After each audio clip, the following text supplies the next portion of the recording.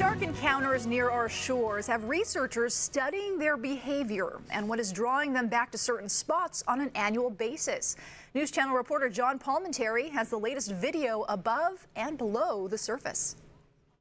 And the larger one, the more dominant one you could see in that video, took charge. It was a raw look at nature in nearshore waters off Carpinteria's Padaro Beach. A great white shark with others nearby eating this dead dolphin last Sunday afternoon. Seeing the sharks is no longer that unusual at this spot. The smallest we've seen are five feet.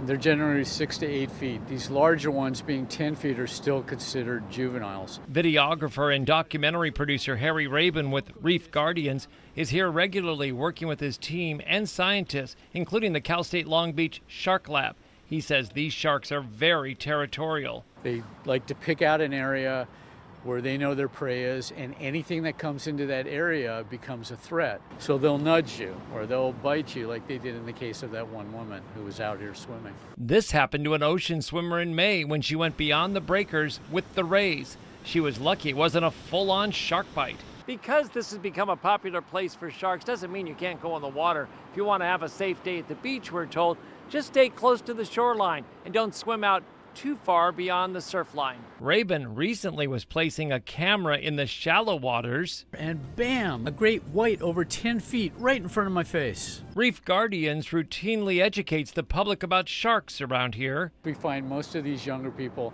are in it because of the environment. They appreciate nature.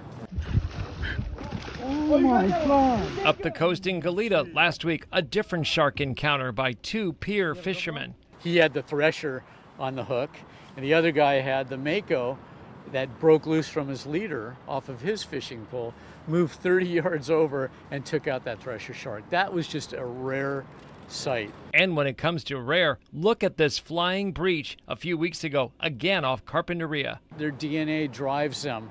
That's when they're going to graduate from bat rays to coming up from the bottom and taking out bigger prey. So it was fantastic to witness that sight and to be able to capture it and share it with everyone. In Carpinteria, I'm News Channel reporter John Palminteri.